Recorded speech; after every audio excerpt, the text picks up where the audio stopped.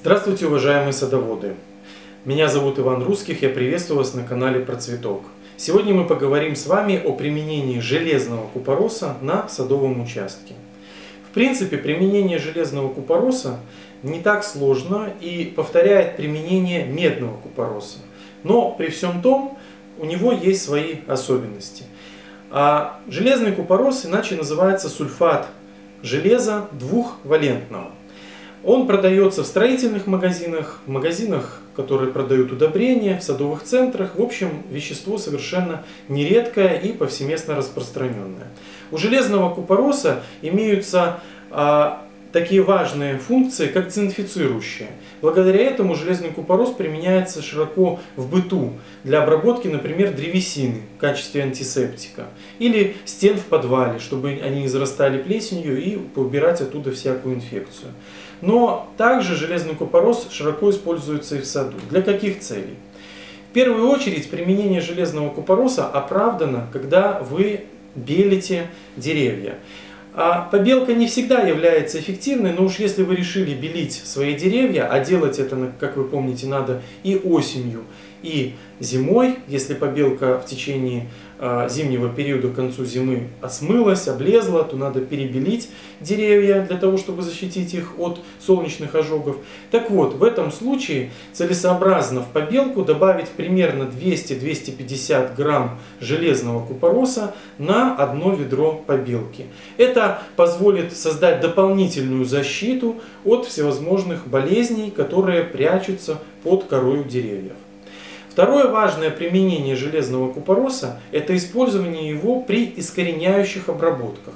В этом смысле он используется так же, как и медный купорос. Примерно 2-3% раствор купороса, а это 200-300 грамм на ведро воды, растворяется. Туда можно прибавлять мочевину, мыло и обрабатывать таким раствором деревья в состоянии покоя или по зеленому конусу. Это то состояние, когда почечка только-только лопнула, но листья еще не начали разворачиваться. Дело в том, что это достаточно высокая концентрация купороса. И если э, использовать ее по листьям, то они могут и подгореть. Точно такую же обработку можно сделать и осенью, когда листва уже начинает опадать, но перед опаданием листвы. Вы обрабатываете листву, ветви, ствол очень тщательно. Листва от такой обработки может скрутиться и, как бы сказать, сгореть, высохнуть и опасть. Это очень хорошо. Вместе с ней сгорят и всевозможные споры, возбудители болезней, а также личинки, все остальное, что нам не надо, чтобы попало в землю вместе с листовым опадом. Третье важное использование железного купороса – это профилактические обработки, особенно роз, ну и других э, растений, деревьев и кустарников от болезней, грибных болезней. В этом случае необходимо растворить 50-60 грамм купороса в ведре воды, добавить мыло и таким раствором обрабатывать наши растения. Очень важно обязательно обеспечивать все растения железом во время вегетации. Железо является очень важным микроэлементом. Но надо помнить, что когда вы используете железный купорос, для максимально эффективно обработки вам необходимо превратить его в хилатную форму, о которой мы уже говорили э, в наших выпусках. Поэтому не поленитесь, добавьте ко всем этим растворам небольшое количество лимонной кислоты. Для всех растений такое количество может быть примерно столовая ложка на одно ведро, на одно ведро воды.